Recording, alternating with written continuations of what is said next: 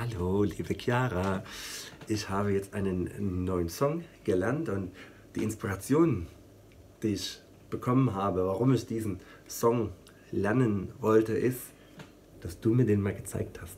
Der hat dir ganz gut gefallen und ja, da habe ich jetzt gerade so an dich gedacht und an den Song gedacht, mir den rausgesucht bei YouTube, mir die Akkorde zusammen ja, probiert, gereimt, mit denen aufgeschrieben und ja, und du bist jetzt die erste die den Song hört, Mungos Rokuspodlak, der ist, den werde ich auch spielen.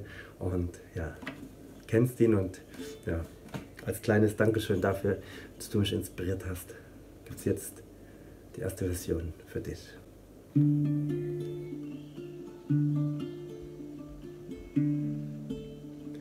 Yamayo wana hey ne yo hey Yamayo wana hey ne yo Yamayo, wana hey ne yo, hey Yamayo, wana hey ne yo. Wahi